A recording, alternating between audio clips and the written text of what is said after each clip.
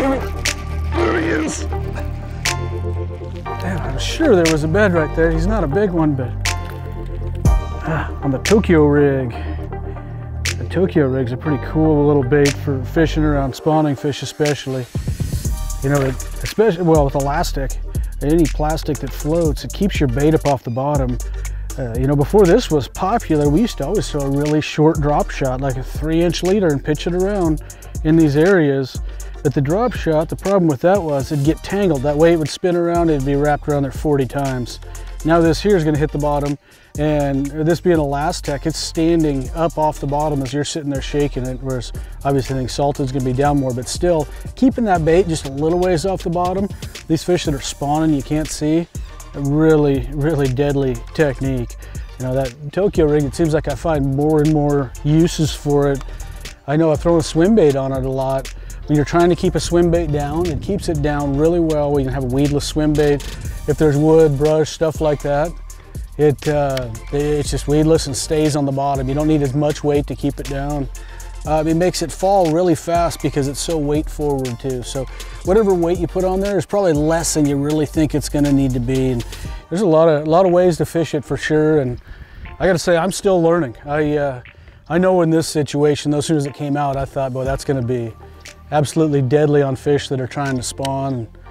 I'm sure even if you're fishing slow in areas that have a lot of sediment at the bottom, just keep the bait up a little bit, but it seems to be a lot more effective with a bait that floats on there. I'm throwing a little creature bait here, the Gremlin uh, by Z-Man. It's a, a, new bait that any of these little creature baits when fish are spawning, you know, my two choices for spawning fish, throw in there is a straight tail something or other, or something that has a lot of action to it like this here. It's fairly subtle in the legs. They don't kick real violently, but there's a lot of little wigglies. That's kind of like why the lizard's always been good around fish that are spawning. They like all those little wigglies, but there definitely times something straight works too. And I'll use a straight tail worm or stick worm um, around them also. But those are really the two things I throw for fish that are spawning that I can't see.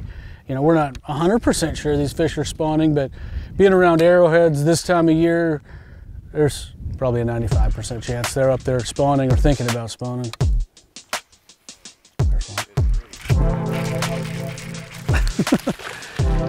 there apparently a lot of little males up here on beds. The thing that probably be to do is be to catch these, come back in about a half hour and go through and pitch all these same edges. A lot of times you'll catch these little males and they'll be a lot less aggressive. As you're pitching through there, you'll end up catching the females that were with them, if there are females with them we can't see the bottom in here. You know, my assumption is just where they are. They're all on beds, but I, uh, I, you don't know if there's a female or not. I know there's gonna be at some point, it just may not be today. But if there is, a lot of times you go through these areas, jack all these, let them go, come back a little while later, and you're kind of amazed the same pitch you made before and caught a 13 incher, you catch a six pounder or four pounder or whatever. It's obviously the female that was hanging around that male. But the Tokyo rig is seeming quite good for the spawning fish. I, you know, we fished out here today throwing several different Texas rigs and the number of bites we've had on this versus the, what we had on that for the amount of time definitely seems better.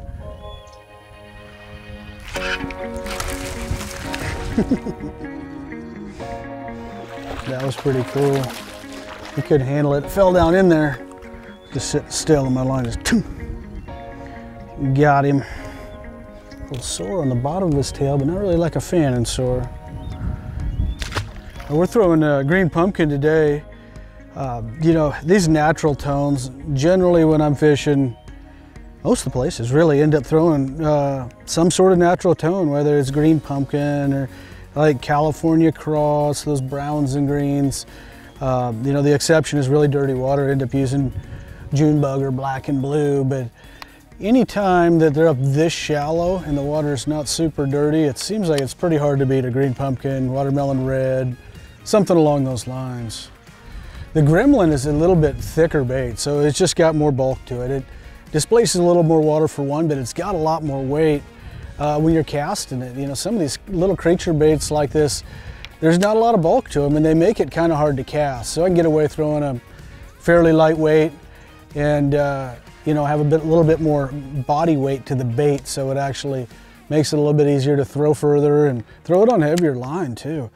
Some of those light small baits get pretty tough to throw on 17 or 20 pound line when there's not a lot of weight there. The line just doesn't come off your reel as well, through your guides as good, all that kind of stuff. But this little dude right here, you can sling out there, you know, you'll be able to skip it, do a lot of things with it.